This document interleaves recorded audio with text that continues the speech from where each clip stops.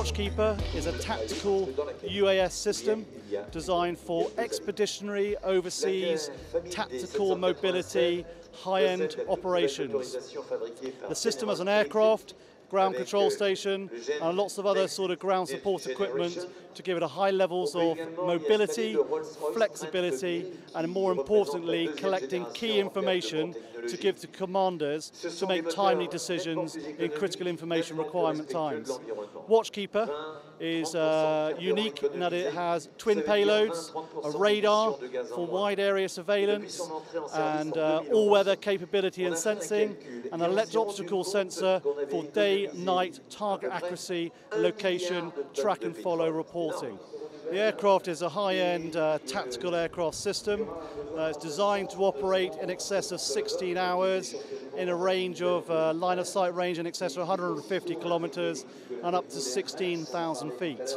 It carries two payloads, the Thales iMaster radar for all-weather wide area surveillance and the electro-optical payload, dual payload for day-night uh, identification and target tracking. The Watchkeeper UAS system is the first UAV to achieve full certification to an airworthy standard, the same as civil aviation or manned fixed-wing aircraft. This allows us to fly in segregated airspace over civilian population with no more risk to the public or anybody below than manned aviation at the moment. This is the first and the first UAV to do so. Okay, we're in the uh, Watchkeeper ground control station. This is the heart of the UAV operation. It's a fully integrated C4I system that allows us to receive tasking. Uh, we can then do our mission planning, conduct the mission execution, i.e. fly the UAV, fly the sensors, receive information back from those sensors, and then start analysing that information to exploit it, understand it, interpret, provide analytical uh, responses, and then we move that information back out to commanders on that C4I network to aid and assist in their information needs. Watchkeeper is the next generation in UAV technology.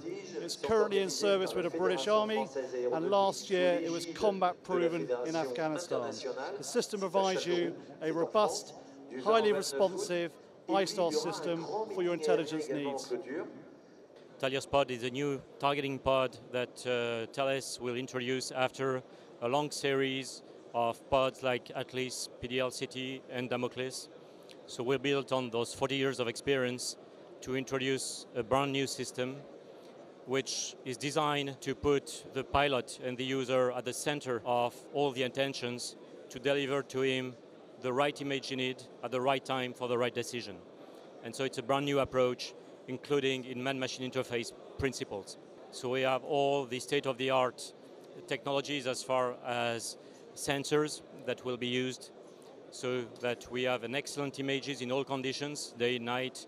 We will bring color capabilities and we will bring a, a lot of new functions that will help him in making the right decisions by bringing all the informations available and in particular a system called permanent vision that will complement his cognitive capabilities. What he sees will be augmented by what the pod sees and what all other systems have seen before. And we bring this together. Well, this pod is uh, clearly designed for a fighter type of aircraft. Now, in our product line, we're able to package all those new functions in a wide range of different products that can accommodate either fighter aircraft or accommodate slow movers, as we call being UAVs or transport aircraft. But the technology will be brought and all the new functions will be able to be put into those kind of platforms. Today we are in, uh, in Paris Air Show in Le Bourget because this is the, the week where we launch a new generation of the STAR radar. STAR radar is a, a primary uh, surveillance radar dedicated to all the control of the approach of airport or military airbase. This radar is clearly an, a compact and enhanced version of the former one with uh, less cabinets, more powerful, uh, more uh, treatment capabilities, uh, ready to answer to wind farm mitigation, 4G. Uh, as you know, all our mobile phones are step by step going in the uh, S-band uh, frequency. So we are working on all these topics. We want to, to be able to, um, to detect all the UAVs, small targets, uh, fast targets, slow targets also, because helicopters popping up uh, were not uh, in the characteristic of the former radars, but now it will be clearly in the standard one. We are uh, proposing on the market now a new air-to-ground rocket system, which is uh, combat proven already in Mali, Afghanistan, and Libya on the Tiger combat helicopter. This uh, new generation of weapon system is ready for use on fighter, UAV, and other applications, and is mainly based on a new technology, which is induction. The purpose of this technology is to try to solve all the previous issue we have on the rocket system of the first generation, which is to have a wire to start the rocket motor and a wire to program the warhead. The deal and the requirement from the French army was to avoid any maintenance, reduce the weight, and make it as operational and efficient as possible. Okay? So if I show you the rocket like it's working, it's easy to load, easy to unload, no connection. Like you see, there is no connection with the system. Remove the rockets, job done. There is, like you see, no plugs, no connection. In fact, there is a coil inside the rocket with a microcontroller and capacitor. This coil and this electronics inside is used to program the rocket for the mission. When the crew press on the trigger, by induction, you send the information and the energy for the mission. We are proposing this product today for a range of ammunition, including laser-guided rockets. And compared to what the other competitor can provide, our laser-guided rockets receive in flight the laser code, the range to the target, and all the necessary information to hit the target accurately with a warhead, which is at reduced collateral damage this means that the requirement from the French army is to have no damage at 20 meters from the point of impact. One important thing also is it was qualified in 2010. It was compliant to all the last standards. So EMC safe, IM safe.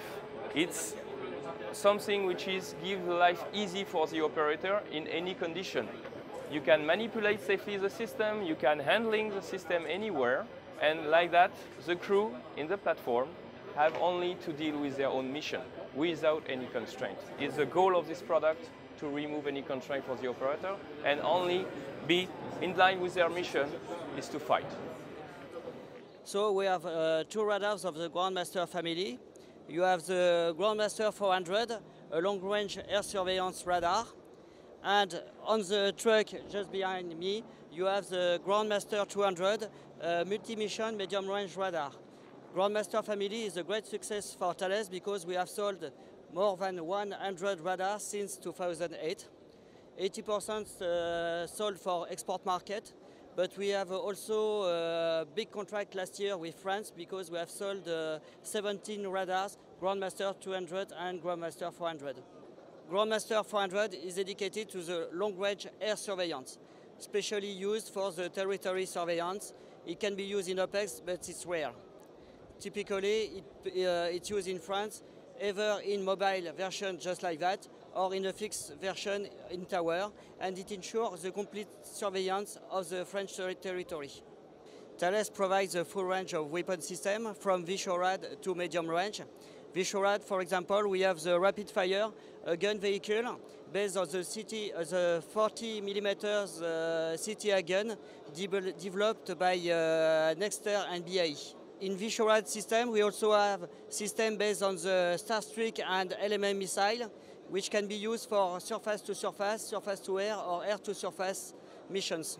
In uh, SHORAD system, we have the Crotale, the famous Crotale, uh, used by France and Finland and Saudi Arabia, for example, using the VT-1 missile.